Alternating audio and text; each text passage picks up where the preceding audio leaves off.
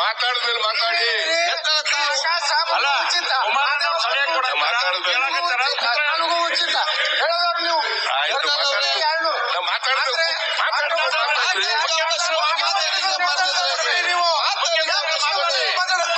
ದಯಮಾಡಿ ಯತ್ನಾಳವ್ರೆ ಕೂತ್ಕೊಳ್ಳಿ.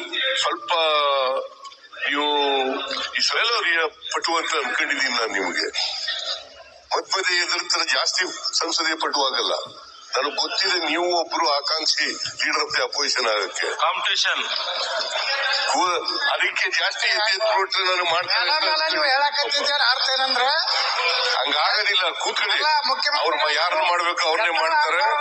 ನೀವು ಈ ತರ ಎಲ್ಲ ಮಧ್ಯೆ ಎದ್ದು ಮಧ್ಯೆ ಎದ್ದು ಮಾತಾಡಿದ್ರೆ ನನಗೆ ಮಾಡೇ ಮಾಡ್ತಾರೆ ಅಂತ ನೀವು ಅನ್ಕೊಂಡಿದ್ದೀರಿ ಪಾಪ.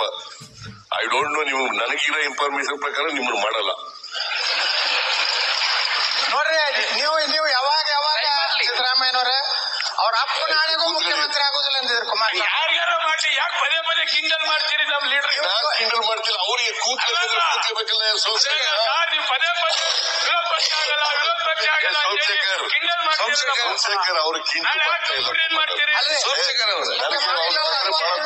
ನಾ ಆಗೋದಿಲ್ಲ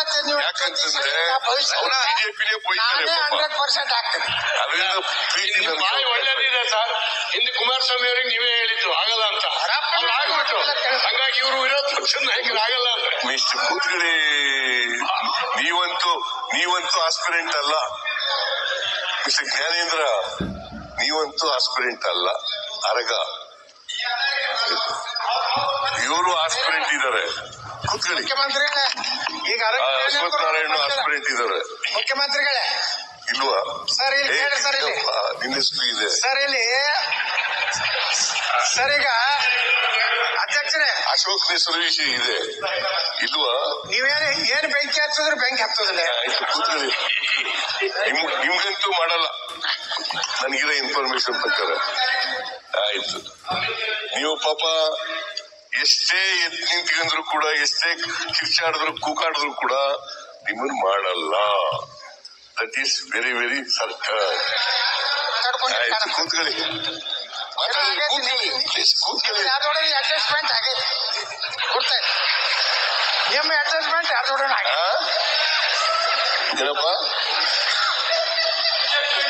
ನಾ ಆಗುದಿಲ್ಲ ಅಂತ ನಿಮ್ಮಲ್ಲಿ ವಿಶ್ವಾಸ ಯಾಕೈತೆ ಅಂದ್ರೆ ನೀವು ಯಾವ್ದೊಡೆ ಅಡ್ಜಸ್ಟ್ಮೆಂಟ್ ಆಗಿ ಕೂತ್ಕೊಳ್ಳಿ. ನನ್ನ ರಾಜಕೀಯ ಜೀವನದಲ್ಲಿ ಅಡ್ಜಸ್ಟ್ಮೆಂಟ್ ಪಾಲಿಟಿಕ್ಸೇ ಮಾಡಿಲ್ಲ ಒಬ್ಬರ ಜೊತೆಲೂ ಕೂತ ಇಲ್ಲಿ ಮಿನಿಸ್ಟರ್ ಅನೇಕ ಕೆಲವರು ಮಿನಿಸ್ಟರ್ಗಳಿದ್ದಾರೆ ಚೀಫ್ ಮಿನಿಸ್ಟರ್ ಮಿನಿ ಯಾವ ಮಿನಿಸ್ಟರ್ಗೆ ಮನೆಗೆ ಯಾವತ್ತಾರು ಹೋಗಿದ್ದನ್ನ ಹೇಳಿ ನೋಡೋಣ ನಾನು. ವಿರೋಧ ಪಕ್ಷದಲ್ಲಿರುವಾಗ ಈಗಿರ್ಬೋದು ಅಥವಾ ಮಾತಾಡೋದು? ಯಾವನಾರು ಮಿನಿಸ್ಟರ್ಗಳಿಗೆ ಮಾತಾಡಿದ್ದೀನ ಮನೆಯೊಳಗೆ ಯಾಕೆ ಹೋಗ್ಬೇಕು? ಫೋನ್ ಮಾತಾಡೋದು. ನನಗೆ ಅದು ಇಲ್ಲಿ ಅಭ್ಯಾಸನೇ ಇಲ್ಲ. ಸ್ಟಾರ್ ಹೋಟೆಲ್ ನನ್ನ ರಾಜಕೀಯ ಜೀವನದಲ್ಲಿ ಅಡ್ಜಸ್ಟ್ಮೆಂಟ್ ಮಾಡ್ಕೊಳ್ಳೋ ಪ್ರವೃತ್ತಿ ಇಲ್ಲ.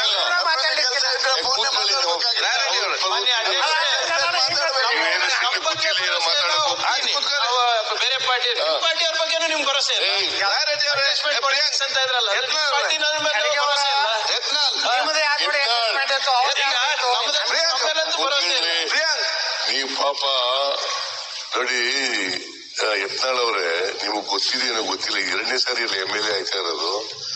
ಮೂರನೇ ಸಾರಿನಾ? ಅದಾಯ್ತಪ್ಪ ಇಲ್ಲಿ ಬಂದಿರೋದು ಎರಡನೇ ಸಾರಿ ಅಲ್ವೇನ್ರಿ ಮೂರ್ ಸಾರಿ ಬಂದಿದ್ದೀರಿ.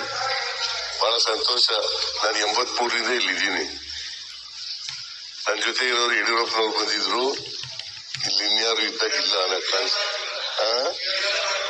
ಬಿ ಆರ್ ಪಾಟೀಲ್ ಒಬ್ಬ ಇದ್ದಾನೆ ಬಿ ಆರ್ ಪಾಟೀಲ್ ಒಬ್ಬ ಇದ್ದಾನೆ ಇನ್ ಬಾಕಿಯವ್ರು ಯಾರು ಇಲ್ಲ ಗೊತ್ತಾಯ್ತಾ? ನಾನು ದೇಶಪಾಂಡೆ ಅವರು ನಾನು ಒಟ್ಟಿಗೆ ಬಂದದ್ದು. ಯಡಿಯೂರಪ್ಪನವರು ನಾವು ಒಟ್ಟಿಗೆ ಬಂದದ್ದು. ನಾನು ಬಿ ಆರ್ ಪಾಟೀಲ್ ಒಟ್ಟಿಗೆ ಬಂದದ್ದು. ಅವತ್ತಿನಿಂದ ಇವತ್ತಿನವರೆಗೆ ವಿರೋಧ ಪಕ್ಷದವ್ರ ಜೊತೆನಲ್ಲಿ. ಅಡ್ಜಸ್ಟ್ಮೆಂಟ್ ಪಾಲಿಟಿಕ್ಸ್ ಮಾಡಿದ್ದೀನಿ ಅಂತ ಸಾಬೀತು ಮಾಡಿದ್ರೆ ಅವತ್ತೇ ರಾಜಕೀಯದಿಂದ ನಿವೃತ್ತಿ ಆಗುತ್ತೆ ನನ್ನ ಜೀವನದಲ್ಲಿ ಇವತ್ತಿನವರೆಗೆ ಕೆಲಸ ಮಾಡಿಲ್ಲ. ಅಂದ್ರೆ ಅಧ್ಯಕ್ಷರೇ, ಅದರಿಂದ ಈಗ ಕುಮಾರಸ್ವಾಮಿ ಅವರು ಇನ್ನು ನೂರ ತೊಂಬತ್ತೊಂಬತ್ತು ಯೂನಿಟ್ ಉಪಯೋಗಿಸ್ತಾ ಇದ್ದಾರೆ ಅಂತ ಇಟ್ಕೊಳ್ಳೋಣ